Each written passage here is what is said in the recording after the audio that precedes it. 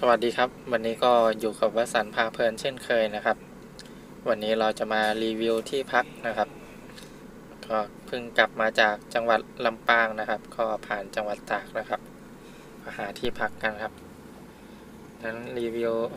ภาพที่ถ่ายตอนกลางคืนนะครับ ในห้องอันนี้ตอนเช้านะครับ บรรยากาศรอบๆอันนี้ก็เป็นที่พักหลักร้อยนะครับรีสอร์ทกลางป่านะครับ ก็ราคา คืนละ 350 นะครับ ถ้า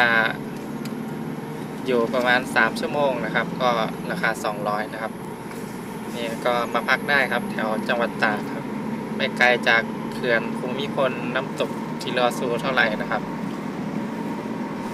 มาพักนี่ครับบรรยากาศธรรมชาติมากครับปลูกอะไรเยอะแยะมากมายครับ ก็มีห้องประมาณ10กว่าห้องนะครับ เป็นลังก็มีนะครับ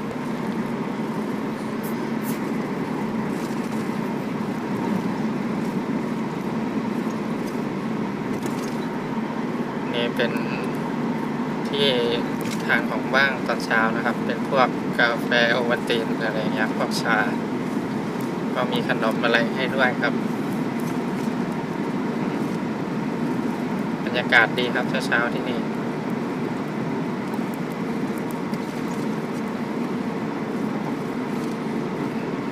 ก็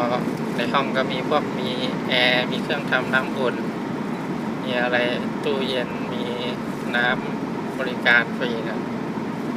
นี่ครับก็ถือว่าโอเคเลยครับ ราคานี้หายากนะครับ ใครผ่านมาก็ลองแวะมาได้ครับ ถ้าหาที่พักกันนะครับ กาแฟครับ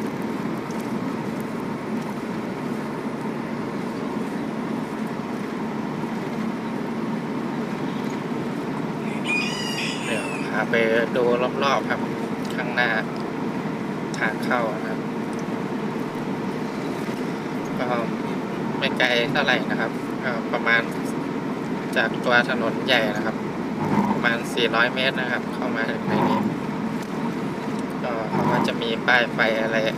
บอก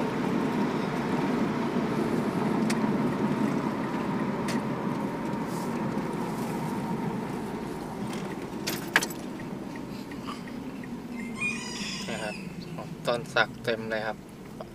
เป็นป่าต้นสักครับ รอบทุกทางนะครับ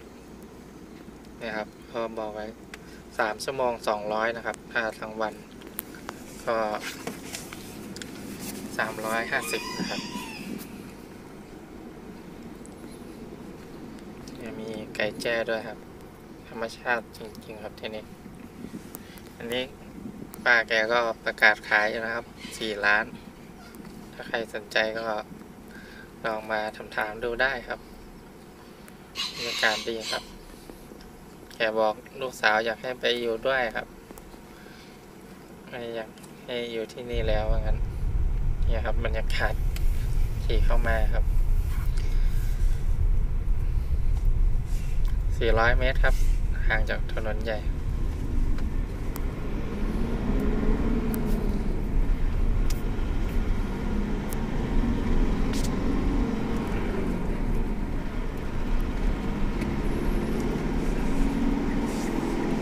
นะครับถ นนทางไปลำปางนะครับเส้นนี้ ใครสนใจก็ลองติดต่อมาได้ครับ ใครกำลังหาที่พักอะไรเงี้ย